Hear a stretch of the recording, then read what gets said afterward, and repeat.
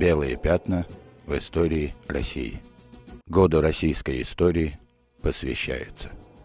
Указом президента России 2012 год объявлен годом российской истории. Резонно. Ибо в истории великой державы не должно оставаться белых пятен. Ни в российской, ни в советской, ни в постсоветской. А ведь они есть. Итак, год 2012. Год российской истории. Вернемся на 110 лет назад. Год 1902. Русский царь Николай II издал указ о конфискации имущества армянской церкви и о закрытии армянских школ. Наложен запрет на деятельность армянской церкви. Конфисковано ее имущество. Русская православная церковь предает ее анафеме. Что же случилось? Что Николай II пошел на столь радикальные меры вопреки политике своего деда Николая I.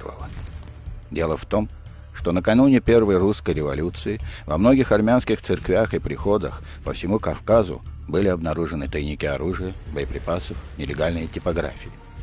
Царское самодержавие поняло, что так называемые стихийные волнения на Кавказе управляются из-за рубежа и осуществляются через армянские организации, главным образом через Дашнак Цутюн.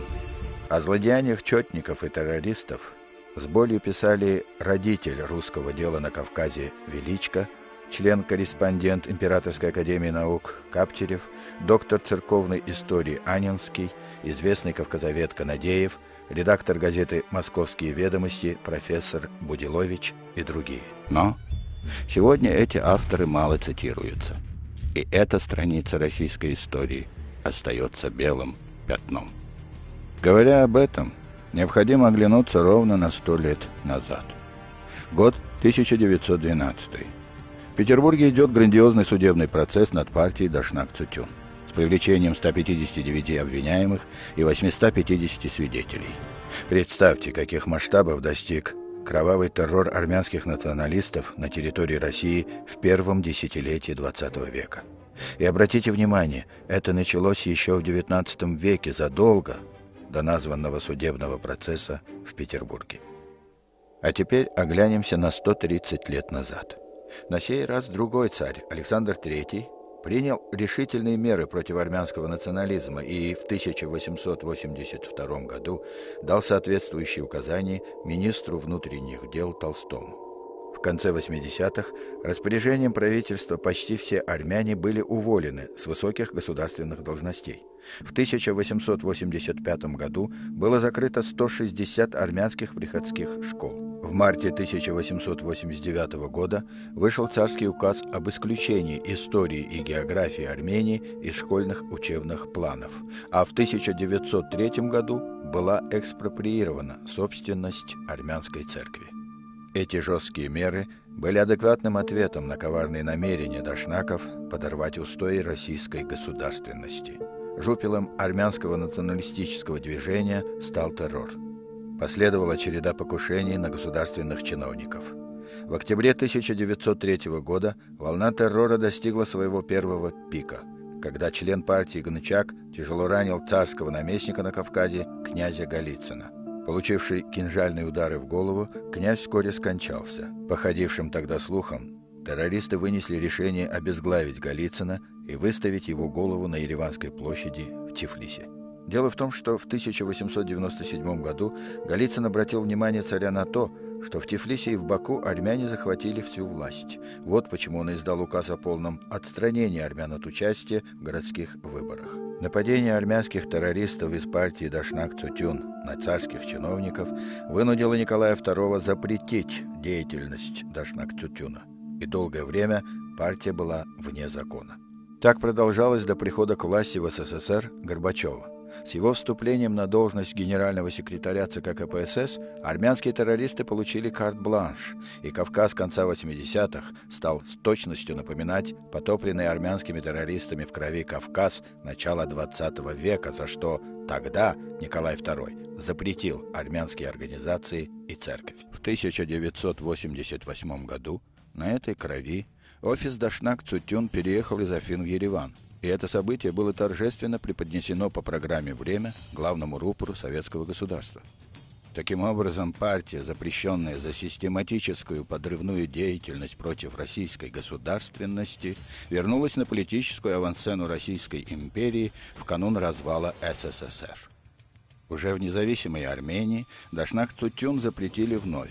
В 1994 году сделал это тогдашний президент Тер Петросян, опять-таки за подрыв государственности. Однако после его ухода в 1998 году и по сей день Дашнак Цутюн является системообразующей партией в Армении и задает тон непримиримости на переговорах по Нагорно-Карабахскому конфликту. Упоминая о Николае I, отметим, что именно он в угоду армянам фактически уничтожил албанскую церковь, имеющую апостольское происхождение. Это была древнейшая церковь не только Кавказа, но и всего христианского мира.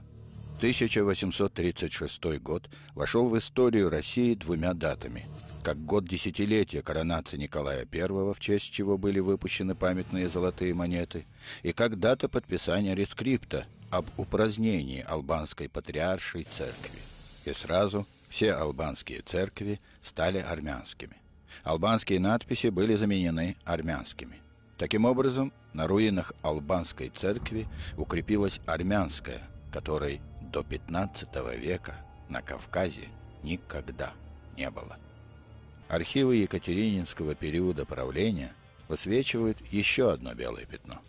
Документально установлено – что при Екатерине II Российская империя намеревалась возродить не армянское, как убеждают армянофилы, а албанское царство, отдавая дань албанской православной церкви, древнейшей во всем христианском мире.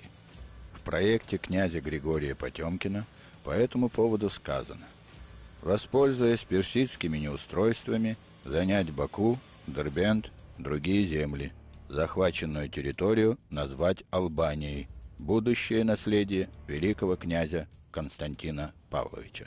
Российские правители были осведомлены о сепаратистских притязаниях армянства и по логике никак не могли ратовать за восстановление того, чего никогда не было на Кавказе, то есть армянского государства. Однозначно им дороже была Албания с ее апостольскими христианскими традициями. Между тем, в историях армянского народа этот факт сфальсифицирован и преподнесен как намерение царского правительства якобы восстановить Армению с целью привлечь на свою сторону христианское население Закавказья. После того, как с позволения албанского патриарха и с разрешения правителя азербайджанского государства Карагоенлу Джахан-Шаха в середине 15 века армянский католикос перевез армянскую церковь из Киликии на древнеалбанскую землю Вычмедзин, на Южном Кавказе был создан полигон для реализации экспансионистских планов армянской католической церкви. Дело в том, что католическое крыло армянской церкви, основанное в XVIII веке при поддержке римского престола, разработало план по уничтожению авторитетного духовного института на Кавказе в лице албанского католикосата – для осуществления своего коварного замысла по разрушению ослабшего к тому времени албанского престола она сделала ставку на Россию, которая только пришла на Кавказ и начала разрабатывать политику в новом для себя регионе. Николай I проникся доверием к армянской католической церкви и при этом не подозревал, что ее действия совпадают с устремлениями враждебной Николаю римской католической церкви, намеревавшейся разместить прямо в подбрюшии России угодную ей армянскую церковь.